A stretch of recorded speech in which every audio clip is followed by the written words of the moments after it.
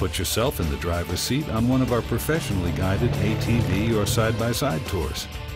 You can ride alone or take a passenger as your guide leads you through the unparalleled beauty of the Moab backcountry. I really appreciate the fact that the guides took the time to just explain how to operate the machinery. We'll show you a few of our favorite secret spots that most people don't even know exist. Whoa, feel that. Including ancient ruins and artifacts, Indian rock art, and natural tunnels.